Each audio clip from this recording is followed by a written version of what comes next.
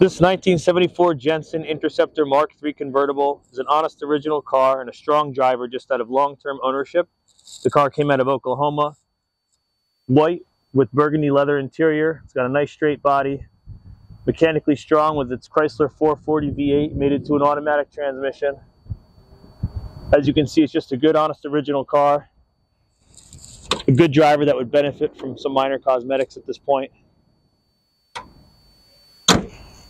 Very collectible and desirable car. That's a really cool combination of uh, British character and American muscle. Offered with its owner's manual. Very solid.